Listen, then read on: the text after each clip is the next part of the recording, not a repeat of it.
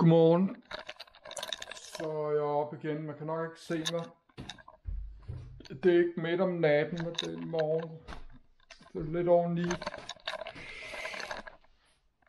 Lad os tænde noget lys. Så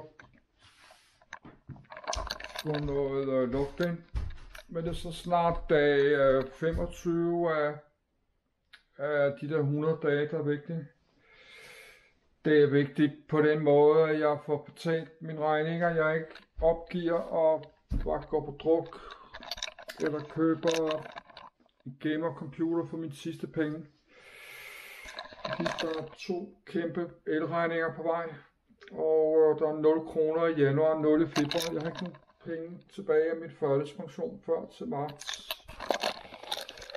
1. marts har jeg lidt overskud igen som her. Måske. Så må satse på, at YouTube-pengene kommer. Så men ellers, jeg har jo været til øh, de næste to måneder. Så du sikkert købe noget de næste to måneder. Det er sådan lidt lang tid.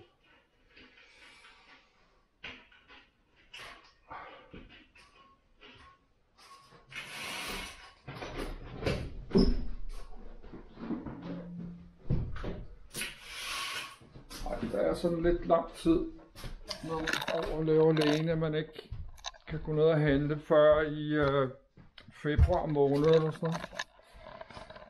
Kun 3. december eller sådan noget. Jeg er nødt lige at få noget øh, jagt på og sådan noget. Det er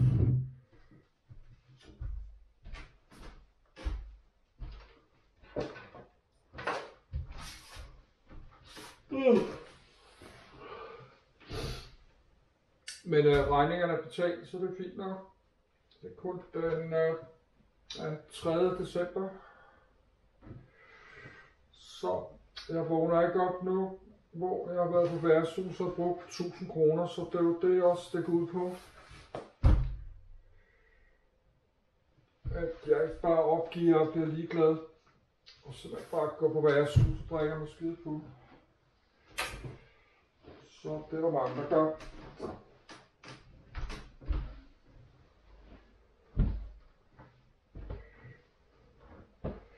Nej, det vil uh, gøre det endnu værre, fordi så har jeg så brugt 1000 kroner eller en kæmpe beløb jo. Så hvis jeg satte mig på værtshus og brugt 800 kroner eller så.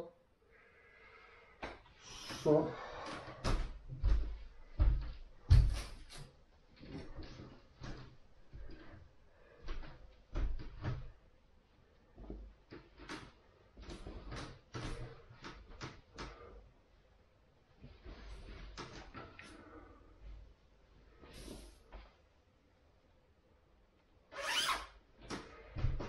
Yes. Men øh, nu kan jeg skrue ned på varmen. Fordi det er jeg er ved at lufte ud. Så er iskoldt i mit køkken, og så lige pludselig ikke noget varme på radiatoren. Det er sådan lidt under den lejlighed. For eksempel her er der varme på, men der er iskoldt. Der er slet ikke noget varme på der. Og øh, den her plejer der altid at være varm, det er der også.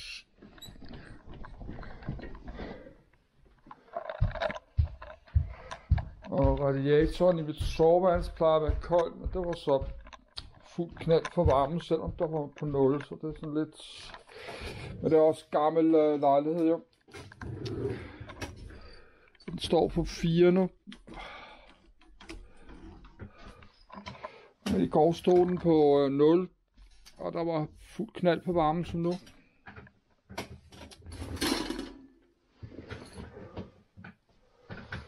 Jeg skal åbne mine øh, pakker. Jeg vil også gerne læse øh, nogle flere tegnesager op.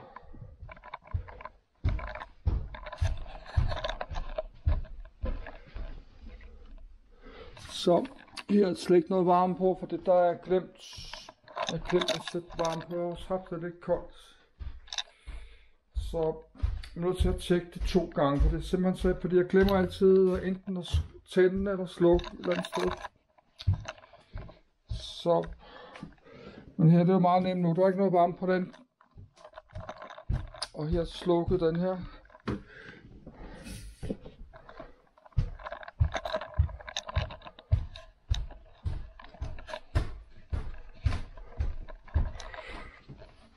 Slukke for varmen der.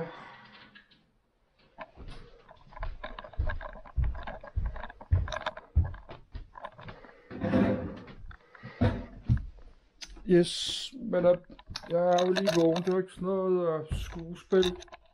Mit uh, video er jo faktisk vågen her.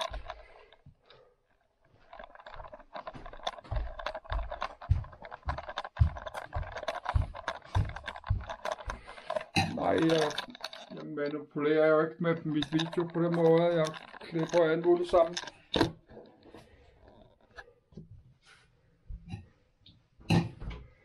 Så,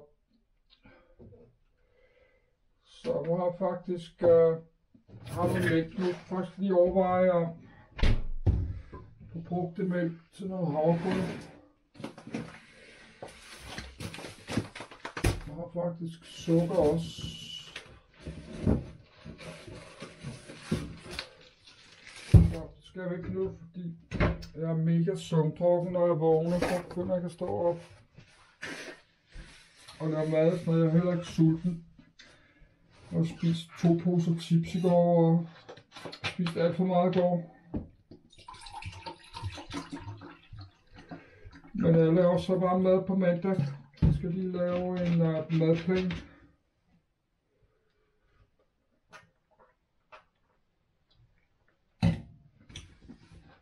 Jeg laver ikke madplan. Jeg skal bare nogle datoer ned. Vi skal gøre det uh, mad hver tredje dag. Så skal vi så øh, spise den der salat i dag. Jeg købte lidt. Skal spise, spise den der bolle her. Jeg skal ikke prøve at spise, spise bollen der og den salat i dag. Jeg kan også, øh, nej, jeg skal spise, uh, starte med at spise noget havregryn. Spise bollen til frokost og salaten senere. og så er der nogle af de der tomater, der skal også spises. Så tag en tår yoghurt.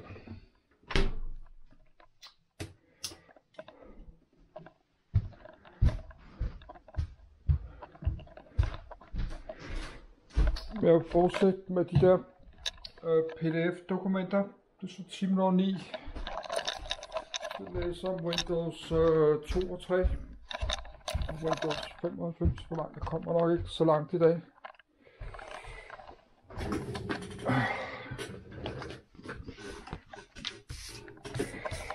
Så, men øh, regningen er blevet betalt torsdag.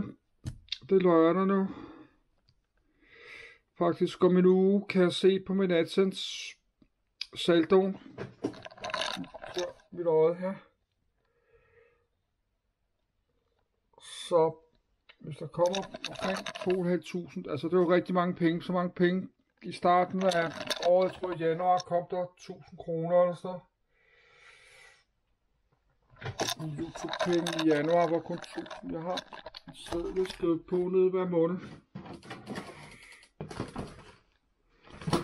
Skriver beløbet ned hver måned.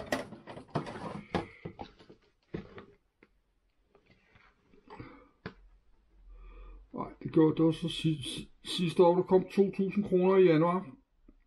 1700 februar, 1700 marts. Altså i år her. Så, så det er mange penge.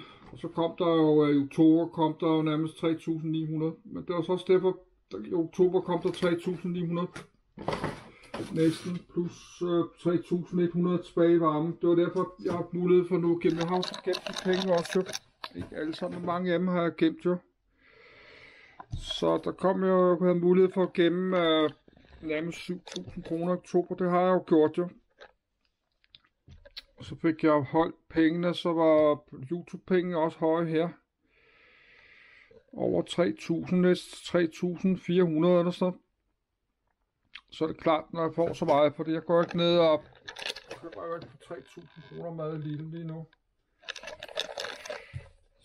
Så Så hvis der kommer, men nu falder YouTube-pengene, så med det, altså så der kommer 2.000 kroner, så er det jo mange penge for mig.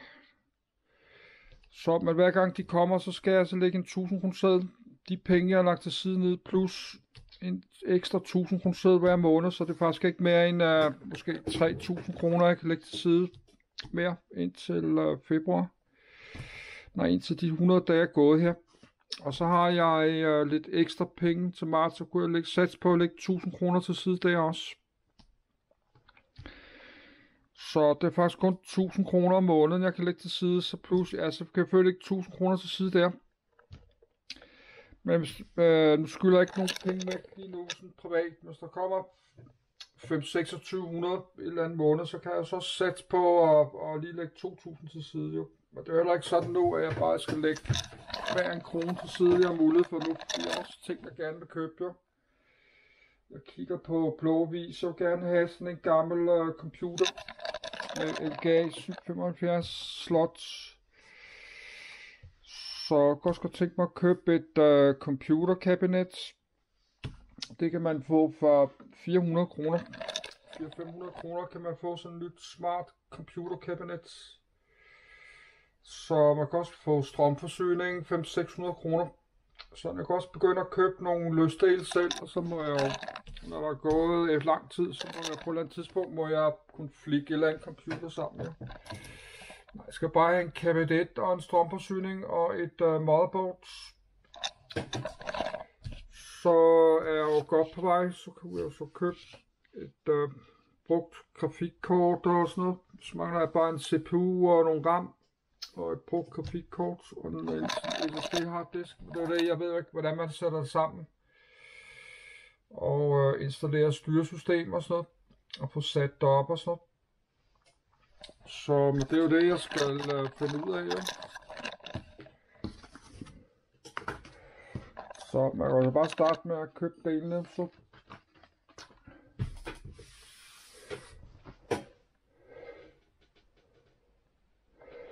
Så men nu er jeg uh, op nu. Men nu vil jeg uh, uploade det her.